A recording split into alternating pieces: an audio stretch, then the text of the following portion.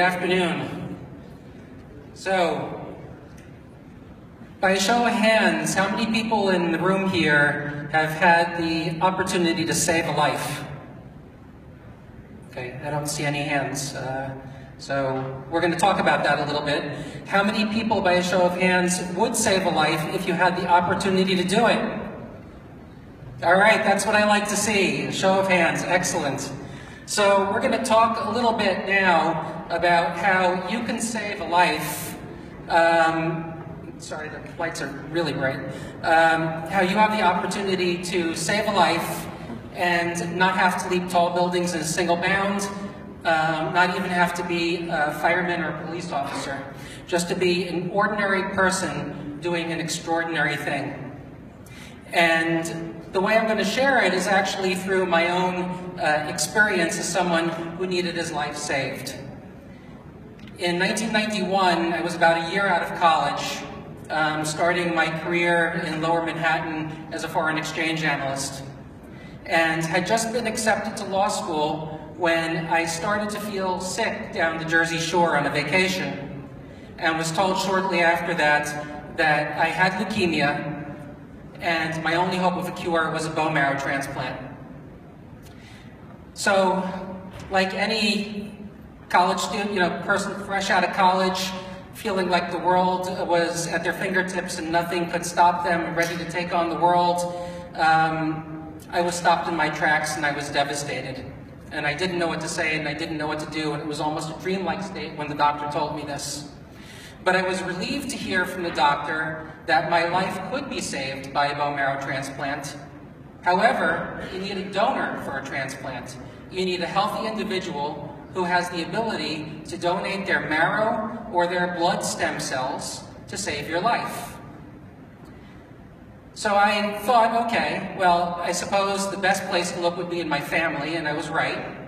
Um, there's a 25% chance that a sibling uh, could be a match for a patient needing a transplant. Both my siblings uh, matched each other perfectly, but unfortunately didn't match me.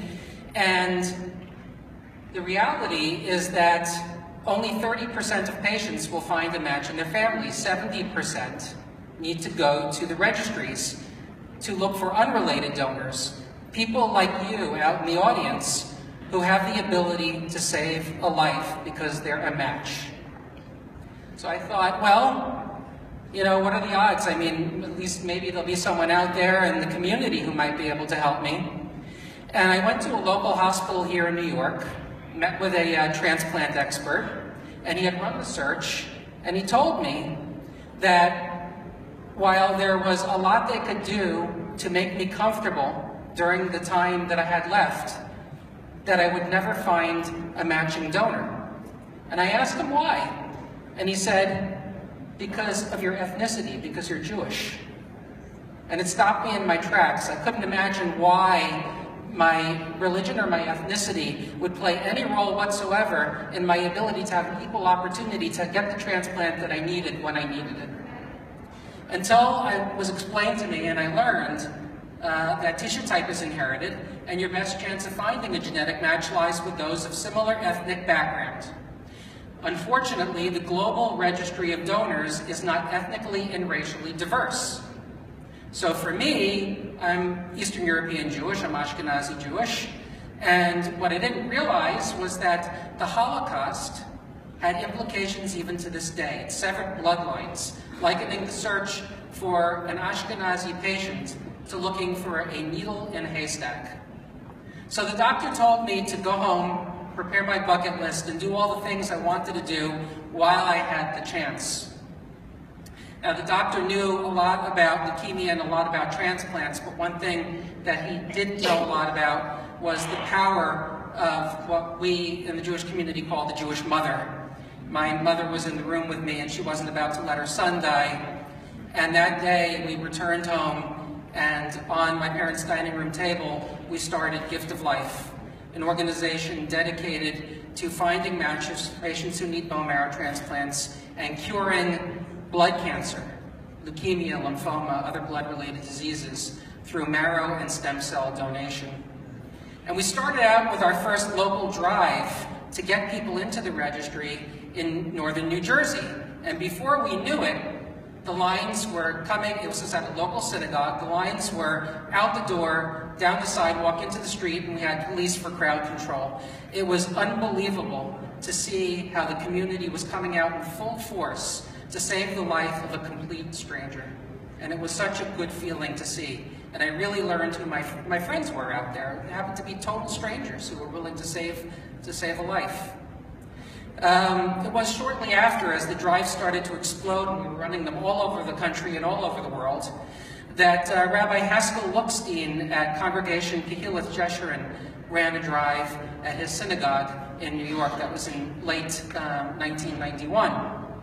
And at that time, uh, we had a number of high-profile people come to the drive, one who's going to be speaking here later this evening, um, a fellow by the name of Bob Abrams, who at the time was the New York State Attorney General, and he was running for the U.S. Senate. And he got tested, hoping that he would be a match for me.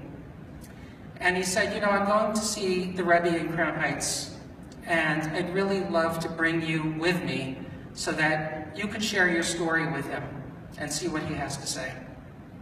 And we went together, and uh, Bob Abrams spoke to him about his uh, Senate race.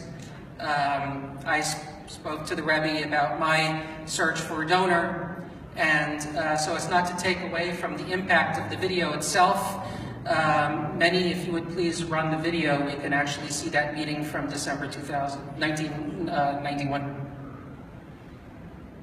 Thank you.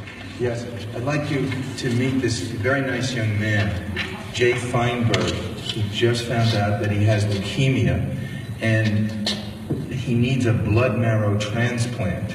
There are a few people in the United States and in the world who will be able to save his life because they have the same kind of blood marrow. And he's a wonderful young man, and time is running out, so maybe you can give him some help or advice about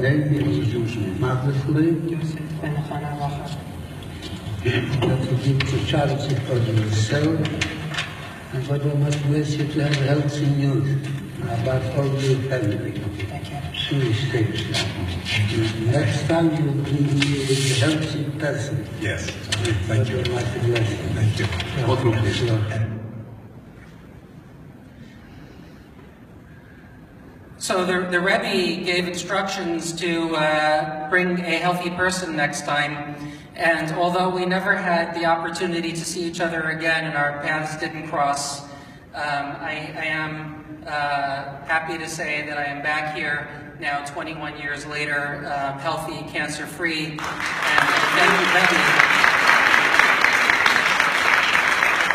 Thank the Rebbe for his inspiring words.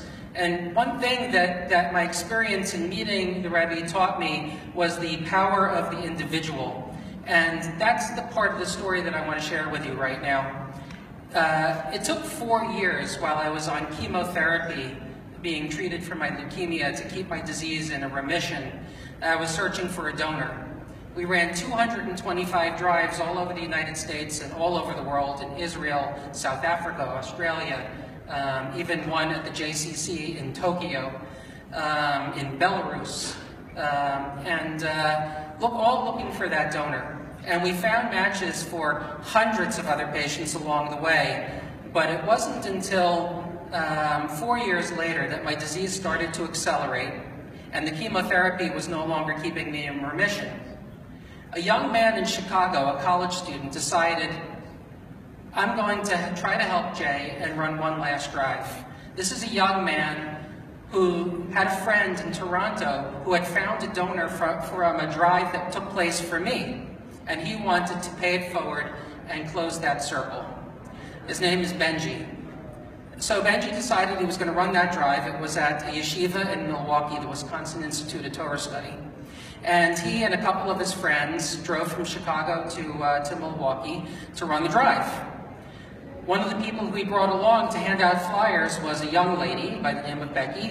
Um, she originally wasn't planning to go, but her sister, who was supposed to go, was sick that morning, so she went in her place. And they ran a drive and they tested 130 people. Becky wasn't tested because she was um, afraid of needles. At the time, it was a blood test. Today, it's actually a cheek swab. We've come a long way. But as they were packing up the supplies, Becky start, uh, just said, you know what, I'm going to do this. I'm going to overcome my fear of needles. And she decided she was going to get tested. And I'm sure you know where this story is going. She was the very last person tested, and she turned out to be my match. So what it shows you, and I think what the, what the Rebbe also taught me, was the power of the individual, and that it only takes one person to make a difference in this world. Shortly thereafter, after I had my transplant out in Seattle at the Fred Hutchinson Cancer Research Center and recovered, um, the dean of uh, the law school in New Jersey, where I was supposed to go, called me and said, you know, we still have our, your seat open for you. It's five years later now, a year after I, I recovered from my transplant, and uh, asked me to, uh, to come on board. And again, reflected back to the Rebbe and about bringing him a healthy person.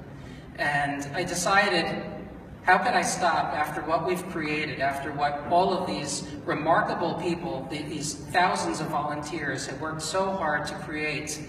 Um, how could we stop this? We had so many more people to help and really firmly believed that our mission wouldn't be done until everybody had an equal opportunity to receive the transplant they need when they needed one.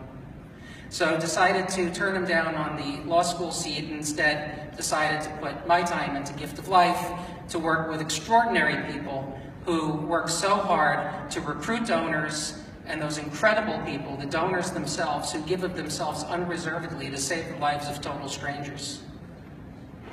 And I'm pleased to say that we now have a quarter of a million donors in the registry. Um, we've saved the lives of over 3,000 people.